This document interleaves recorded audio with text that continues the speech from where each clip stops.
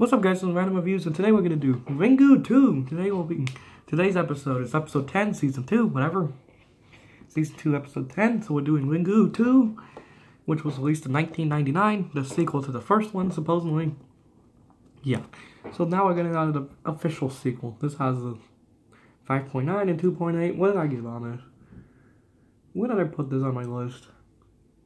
And I put this at number five. Wow. Did I really put this at five? Okay. yeah.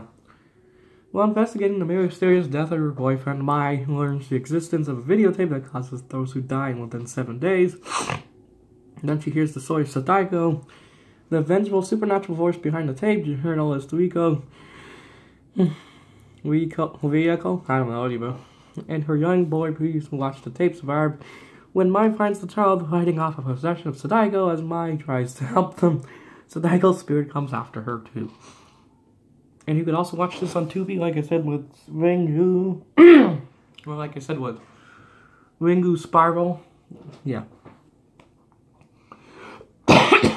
yes.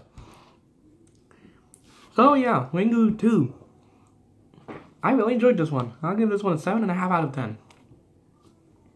I really enjoyed it better than the first one, that's for sure. Even though they're almost pretty much the same thing until we get to the re the, the reboots, I'm guessing. I'm not sure what the hell they are. And slash Taiko versus Kayako. That'll be the second to last one, don't worry. I haven't forgot about that one. Yes, I even teased it when I did the Grudge movies.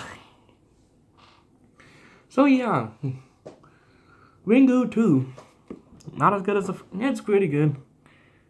I'd say a little bit better than the first one, that's for sure. So yeah, see you guys next time for for Ringu Zero birthday.